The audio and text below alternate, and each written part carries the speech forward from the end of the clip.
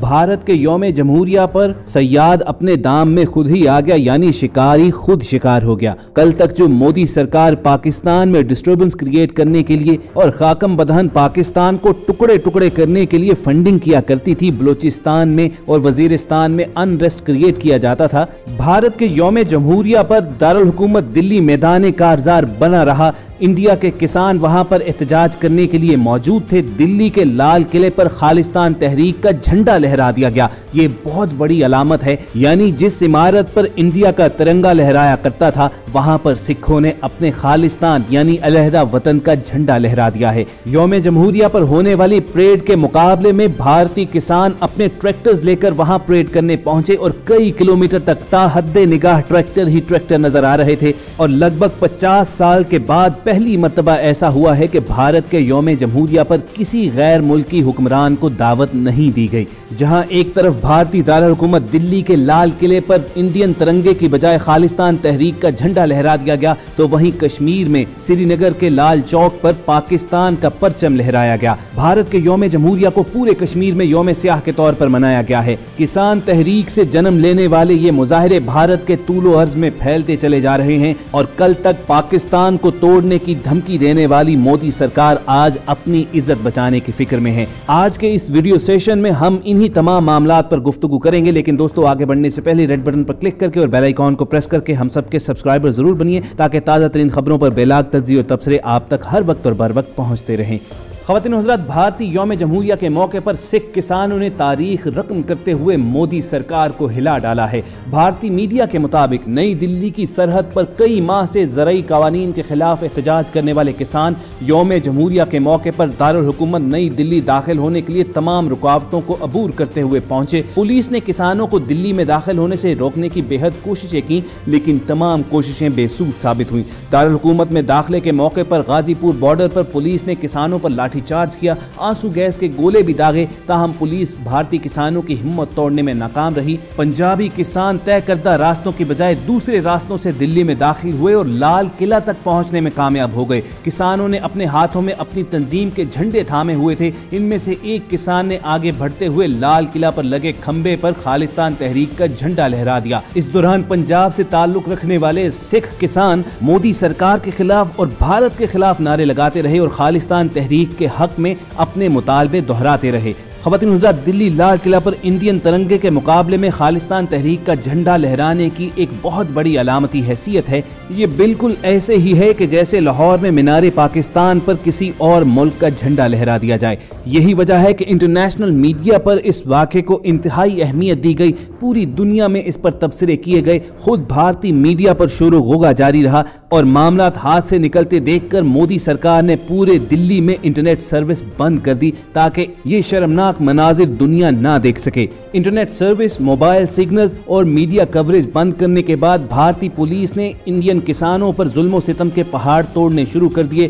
Police की shelling lathi charge और firing की वजह से एक किसान के हलाक होने की भी इतलात मौजूद हैं। लेकिन दुनिया भर से पंजाबी सिख बरादरी का कहना था कि हम अपने किसान भाइयों के साथ हैं, उनके तमाम मुतालबात की हिमायत करते हैं। मोदी सरकार के ये जुल्म सितम से अब जान छुड़ाने का वक्त आ चुका है। यूरोप, अमेरिका और कनाडा में बसने वाली सिख बिरादरी का कहना यह था कि 1986 की यादें ताज़ा की जा रही हैं कि जब सिखों के मुकदस तरीन मकाम गोल्डन टेंपल पर भारतीय सरकार ने फौज के ज़रिए बम्बारी और शेलिंग और फायरिंग की थी और वहाँ पर सिखों का कत्लेआम किया गया था। उसी वक्त खालिस्तान तहरीक की दागबेल डाली गई थी और भारतीय सिखों ने पंजाब को इंडिया से अलहदा करने का मुतालबा शुरू किया था और अब मोदी सरकार की जुनूनी और नफरत अंगेज पॉलिसीज़ की सजा भारत को मिलना शुरू हो चुकी है और ये तहरीक दोबारा से ज़ोर पकड़ती जा रही है। भारतीय पंजाब में तो अब ये बातें भी होना शुरू हो चुकी है की पंजाबी सिखों का भारत के साथ कोई ताल्लुक नहीं है, बल्कि इंडिया से ज़्यादा उनका ताल्लुक पाकिस्तान से है,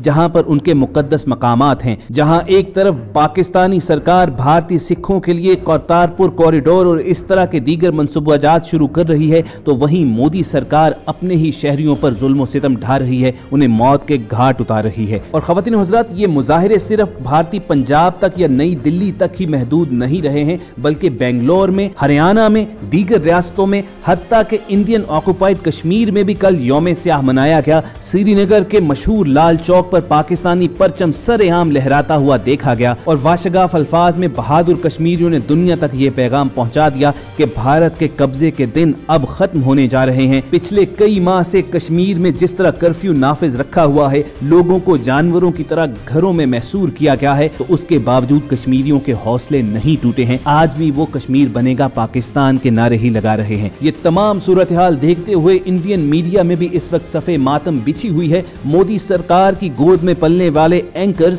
इन भारतीय किसानों को ही गद्दार करार दे रहे हैं और अपने हकूक के लिए लड़ने वाले इन बहादुर पंजाबियों को सजाएँ देने का मुतालबा किया जा रहा है। पहले पहल तो इंडियन मीडिया ने ये प्रोपोगंडा करने की भी कोशिश की कि दिल्ली के लाल किला पर किसी किस्म का खालिस्तान का परचम नहीं लहराया गया है, लेकिन उनका भांडा उसी वक्त फूट गया जब मोदी सरकार की हिमायत में सामने आने वाली बॉलीवुड एक्ट्रेस कंगना ने अपने ट्वीट में किसानों को दहशतगर्द मुखातिब करते हुए कहा कि ये लोग जो खुद को किसान कहते हैं, ये दहशतगर्द हैं। भारत के योम जमहूरिया के दिन दिल्ली के लाल किला पर हमला करके खालिस्तान का परचम लहराया गया है। इन तस्वीर ने इंडिया को हिला कर रख दिया है। जहाँ एक तरफ़ मोदी सरकार और उसकी हिमायत में सामने आने वाले एंकर्स और दीगर सेलिब्रिटीज भारतीय किसानों के खिलाफ ये प्रोपेगेंडा कर रहे हैं तो वहीं संजीदा मिजाज, कुछ दानश्वर जो मामले की नजाकत को समझते हैं, वो इस बात पर ज़ोर दे रहे हैं कि मोदी सरकार अपनी इन बेवकूफाना हरकतों से बाज रहे। मोदी की पॉलिसीज़ इंडिया को तोड़ने जा रही हैं। खुद इंडिया के लोगों का कहना था कि हिंदुस्तान के बहत्तरवें रिपब्लिक डे पर भारतीय कौम अपनी शनाख्त तलाश करने में मसरूफ है।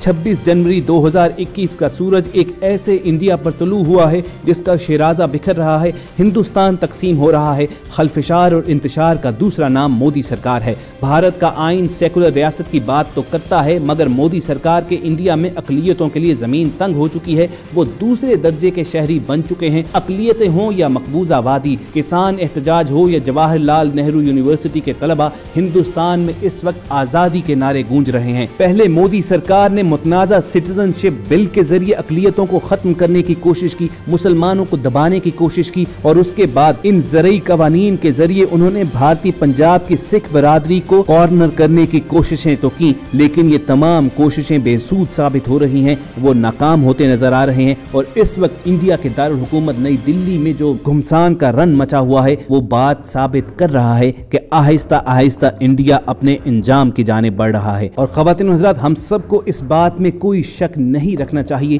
कि गजवा हिंद का वक्त आहिस्ता आहिस्ता करीब आता जा रहा है। मोदी सरकार जो कल तक पाकिस्तान को तोड़ने के ख्वाब देख रही थी आज अपने आप की इज़्ज़त बचाने में मसरूफ है। ये अल्लाह की जानब से बहुत बड़ा इशारा है कि पाकिस्तान अल्लाह ताला की तरफ़ से ही कायम करदा मुमलिकत है और जिसने भी इसे नुकसान पहुँचाने की कोशिश की, वो इबरत का निशान बन के रह जाता है। अगर आप हमारे तजिए से इतफाक या अख्तलाफ रखते हैं तो कमेंट सेक्शन में ज़रूर अपने ख्याल का इजहार कीजिएगा और इस वीडियो को लाइक करके फेसबुक और व्हाट्सएप के ज़रिए तमाम लोगों तक पहुंचाइएगा। कोशिश होगी कि वक्ता फवक्ता इस हवाले से आपको अपडेट करते रहें और अपडेट्स हासिल करने के लिए आप रेड बटन पर क्लिक करके और बेलाइकॉन को प्रेस करके हम सबके सब्सक्राइबर्स बन जाइए। अपना और इर्द गिर्द के लोगों का ख्याल रखिए और हम सबके साथ जुड़े रहिए।